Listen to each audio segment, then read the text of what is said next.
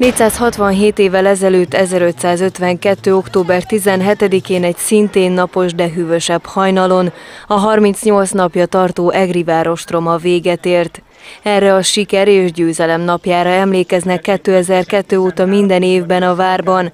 Az Egri vár napján bemutatókkal, rejtvényekkel várták a kicsiket és nagyokat. 1552. október 17-én a sokszoros túlerőben levő török seregek elhagyták Eger városát, és hát ugye ez egy világra szóló győzelem volt, hiszen egészen eddig Mátyás óta nem sikerült egy török fősereget megállítani. A programmal igyekeznek közelebb hozni a dicső csata jelentőségét a diákokhoz. Önmagában ez a hősies diadal, ez nagyon fontos, és ez minket folyamatosan a hazaszeretetre nevel, és arra, hogy igenis ki kell állni az értékeink mellett, a kultúránk mellett, és meg kell védenünk ezt a mindennapokban annak érdekében, hogy a gyermekeink is érezhessék ezt, és tovább is tudjuk adni, tovább tudjuk örökíteni.